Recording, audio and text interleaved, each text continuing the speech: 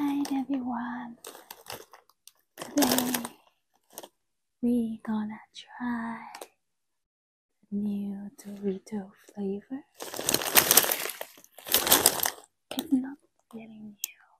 Mm, it's sweet and tingly, but and